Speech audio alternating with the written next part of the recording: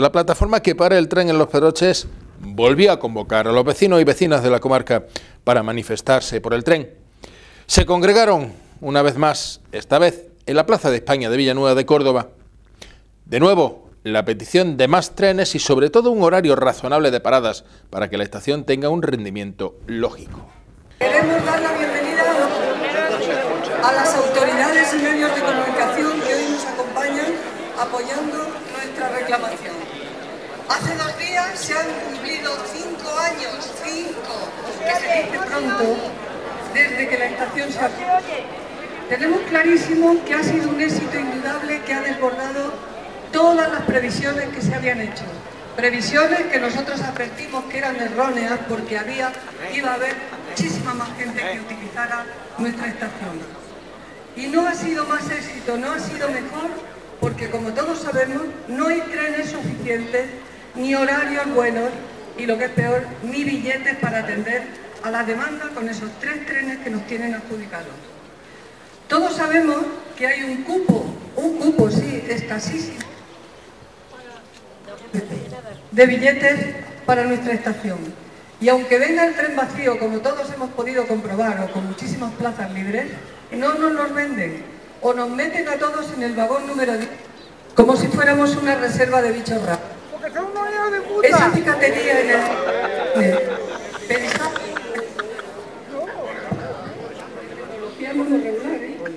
Para que fracasara y nos aburriéramos, no ha impedido que la estación sea un éxito magnífico. Esos trenes los usan cuando hay billetes estudiantes, empresarios, ganaderos, niños, ancianos y mujeres, por gente que trabaja en Córdoba u otros pueblos de la provincia a los que han quitado las mesas, que era una forma más barata de, trabajar, de viajar, y no las han recuperado. Los que van a conectar con aeropuertos o a vender jamones y aceite a los japoneses. Nos han quitado al jefe de estación que estaba siempre al quite y han dejado a un pobre segurato, segurata más solo que la una, que no resuelve ni un problema de los que. La máquina de comprar billetes se estropea y tarda semanas en ser reparada y la gente comprar el billete quedándose en tierra. El autobús, otro desastre por el mismo motivo, por la misma cicatería que se aplicó al tren, sin que los ciudadanos lo usen y nos culpan de ello, porque no saben si habrá autobús o no, o que no espera si el tren llega unos minutos más tarde, o no espera a las personas mayores que tienen que recorrer una rampa interminable porque no hay ascensor ni escaleras mecánicas. Queremos un autobús por parada. Esas antiguas viajeras, como las llamaban en La Mancha, que recogían o llevaban a los viajeros cuando la estación estaba retirada. Ahí tenemos los que recuerden, los que ya tengan canas como yo, la viajera de Fuencaliente que llegaba hasta la estación que dictaba más o menos como la nuestra. Estamos aislados, con las peores carreteras de Andalucía y nuestros caminos son un bache continuo unos caminos que son por donde transita el trabajo y la riqueza de nuestra tierra. Queremos que de una vez por todas se acometa el desdoble de la 502. Y si alguien quiere comparar lo que tenemos aquí o cree que vivimos en un país magnífico, no tiene más que darse un garbeo por las carreteras al sur del Guadalquivir y comparar con lo que tenemos aquí. Hemos hecho últimamente un estudio basado en datos oficiales de Renfe comparando nuestra estación con la de Puente Genil. Y vaya por delante que nos alegramos infinito de que Puente Genil tenga muchos trenes y que, lo, que tengan una estación bien dotada. En Puente Genil disponen de 26, 26 trenes al día, contra 6 en nuestra estación.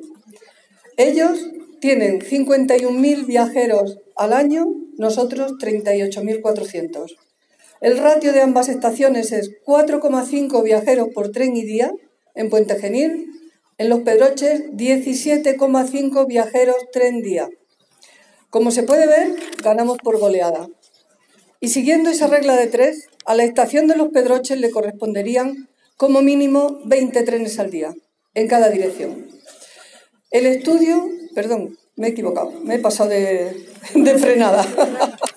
20 trenes al día mínimo para cumplir con las necesidades de la estación. El estudio no solo contiene comparaciones y quejas, tiene también indicaciones de los trenes que necesitaríamos para cubrir la demanda que existe. Queremos que las lanzaderas, como dijimos ya desde el principio, que duermen en Córdoba o Puerto Llano, lleguen aquí. Todos tenemos ejemplos cada día de las personas que quieren viajar y se tienen que desplazar a Puerto Llano o a Córdoba, distante cada uno de ellos más de 100 kilómetros, porque aquí no hay billetes. El estudio se ha hecho llegar, se ha entregado al presidente de la Junta de Andalucía, al ministro de Agricultura, al presidente de la Diputación, al presidente de la Mancomunidad, a todos los alcaldes de la comarca. También se ha hecho llegar a la delegada del Gobierno en Córdoba. Las dos administraciones, la central y la autonómica, tienen que ponerse a trabajar juntas, mejor que por separado, para dar una respuesta positiva, definitiva, a nuestro problema. Poner más trenes y horarios no costaría un euro a las arcas públicas. La estación ya está funcionando, no necesita más que ir mejorándola y esperemos que eso se haga. Solo tiene que haber voluntad política para llevarlo a cabo. En estos cinco años han pasado por el gobierno de la nación el PP y ahora el PSOE. Nadie ha movido un dedo y no pensamos esperar otros cinco años a ver qué pasa. Esta exigencia no tiene calor, no es de derecha ni de izquierda. Solo tiene el color de una comarca que está perdiendo población a marcha forzada. No hay más que visitar nuestros pueblos y ver los carteles de Se Vende y tiene que ponerse los medios sin perder un minuto para que no pasemos a engrosar el programa, el panorama de la España vacía a la que ahora, en época de elecciones, se presta atención. Aunque ya creíamos que la labor de la plataforma había terminado y teníamos nuestras banderas bien guardaditas en un desván, vemos que no, que los ciudadanos tienen que seguir saliendo a la calle para reclamar a nuestros políticos, a nuestros alcaldes que se muevan, que presionen para que la estación cumpla plenamente con su cometido, abrir la comarca y contribuir a su desarrollo, al futuro de nuestros hijos. Y seguiremos convocando a los ciudadanos, por muy incómodo que sea, tantas veces como sea necesario, para defender nuestro futuro, para defender el futuro de nuestros hijos y saldremos a la calle sin vergüenza y sin complejos, para presionar, para respaldar a nuestros políticos, que son los que tienen que llamar a puertas a las que los ciudadanos no llegan. Y que no se nos acuse de partidismo, de trabajar a favor o en contra de unos u otros, que esa milonga mm, ya nos suena añeja y no nos va a coartar porque ya estamos acostumbrados a oírla. Vamos a trabajar, como siempre, desde la independencia y a favor de nuestra tierra, aunque estemos hartitos de hacerlo. Y queremos que sepan que no nos vamos a conformar con dos trenecitos para callarnos la boca. Queremos los suficientes trenes para atender a la demanda que existe. Queremos poder viajar sin tener que reservar billete mes y medio antes, sin tener que pasar fatigas para ir a Puerto Llano, en noches cerradas, con placas de hielo, con ciervos cruzándose por el camino o por las carreteras que nos acercan a Córdoba, que todos sabemos lo que son. Queremos una solución y la queremos ya, inmediatamente. Queremos que los alcaldes de nuestra comarca, que son los que tienen, los primeros que tienen la gran responsabilidad de presionar, de plantarse en los despachos, de andar como moscas cojoneras hasta que nos hagan caso, y sabemos que eso tiene coste, pero ellos han admitido una responsabilidad, están ahí porque los hemos votado y tienen que batirse el cobre y conseguir lo que necesitamos. Por último,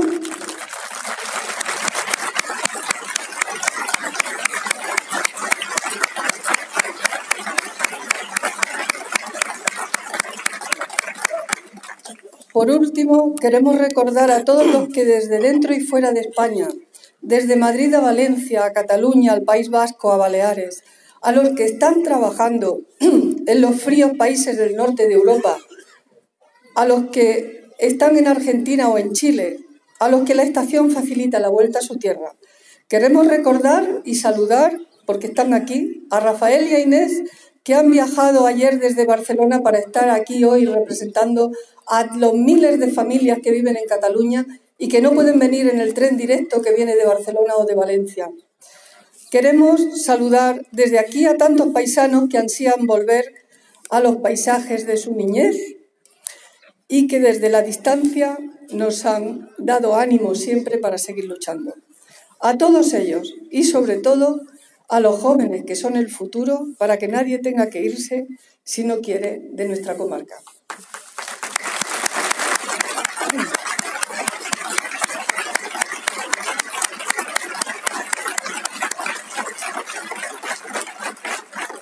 Por todos ellos, por los que estamos y no están, por los que han pasado por la plataforma y ya han tirado la toalla porque se han aburrido y han perdido la fe, queremos decir que vamos a seguir, que no vamos a cejar, que lo vamos a reclamar y vamos a ser el respaldo de nuestros alcaldes para que tengan fuerza y lo piden donde haya que pedirlo. Queremos, por todos ellos, más trenes, más autobuses y mejores servicios para la estación del AVE en nuestra comarca.